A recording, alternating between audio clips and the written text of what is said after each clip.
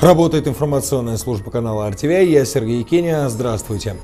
Россия и Турция должны выполнить свои обязательства в качестве гарантов сирийского перемирия. Так называемый Высший комитет по переговорам, представляющий противников режима Башара Асада, прокомментировал химическую атаку в провинции Идлиб, в результате которой погибли десятки человек, в том числе дети. Оппозиция, напомню, возлагает вину за трагедию на правительственную армию. Представитель комитета Абдул Хаким Башар призвал Совбез ООН принять резолюцию, которая поможет привлечь к ответственности тех, кто применил запрещенное оружие.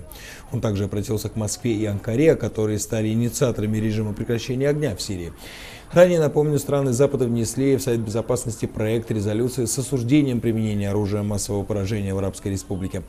В России, которая винит в газовой атаке боевиков, документ считают неприемлемым. Официальный представитель МИДа Мария Захарова считает цель резолюции перевести стрелки на официальный Дамаск. При этом сам документ, по ее мнению, является и антироссийским.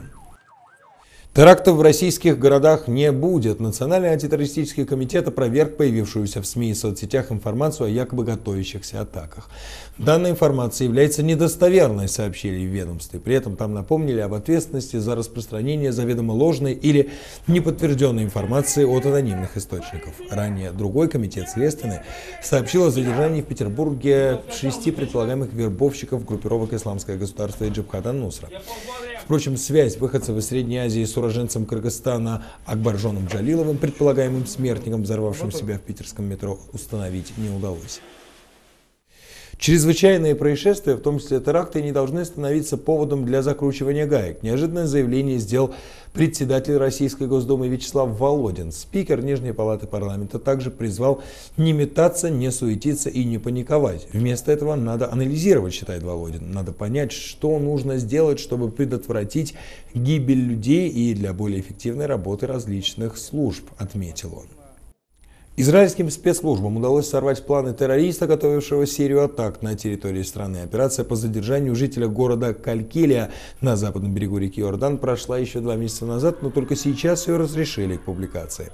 По данным израильских служб безопасности, Малек Юсуф Казмар был завербован в 2015 году в Северном Кипре, фактически контролируемом Турцией.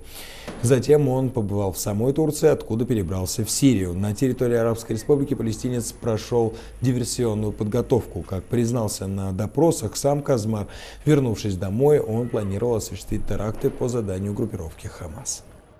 Израиль хочет связать себя железной дорогой с арабскими странами. Министр транспорта и разведки еврейского государства Израиль Кац представил сегодня проект экономической региональной инициативы. Согласно плану, составы будут следовать до границы с Иорданией и далее смогут продолжить путь в Саудовскую Аравию. Кстати, если с первой Иерусалим поддерживает дипломатические отношения, то с саудитами их нет. Еще одна инициатива Израиля КАСа – строительство искусственного острова у берегов сектора Газа в Средиземном море. Он должен быть соединен с палестинским анклавом мостом. Согласно задумке, остров будет иметь морской порт и аэропорт. По мнению министра, осуществление этого проекта поможет обеспечить палестинцам экономическую и транспортную связь с миром, а Израилю – безопасность. Коротко о других важных мировых темах. Конфликт в Донбассе – это одна из национально-освободительных войн, в частности, 24-я война Украины с Россией. Свою трактовку истории представил бывший украинский президент Виктор Ющенко. Лидер оранжевой революции считает, Киеву необходимо разорвать с Москвой дипломатические и торговые связи, а также пресекать общение граждан двух стран, запретить оказание услуг и перемещение капиталов. В Москве заявление Ющенко назвали словами обиженного.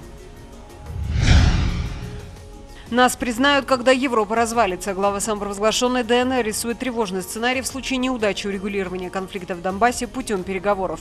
Александр Захарченко считает, что альтернативой мирному процессу в Минске может стать война, в которой Киев проиграет, а мигранты хлынут в Западную Европу. Захарченко рассказал, что Минские соглашения были заключены для того, чтобы покончить с боевыми действиями. После этого следовало провести выборы в местные советы.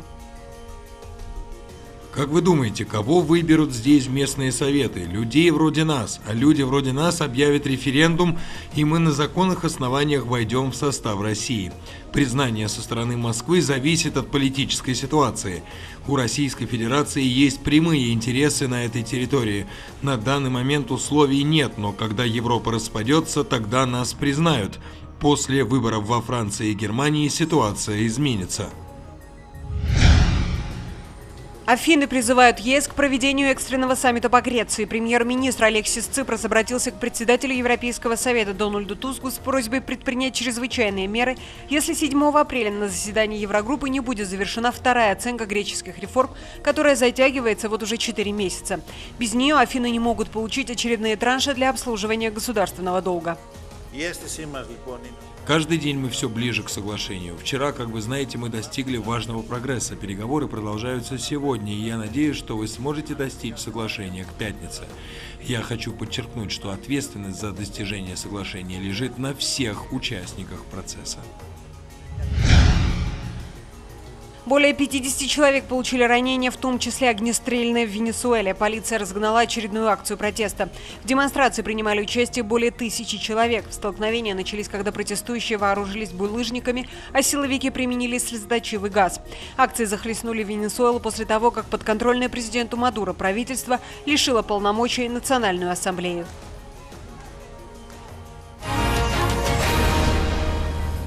Следите за развитием событий на RTVI моих коллег, а я прощаюсь с вами до завтра и, как всегда, желаю всего самого доброго.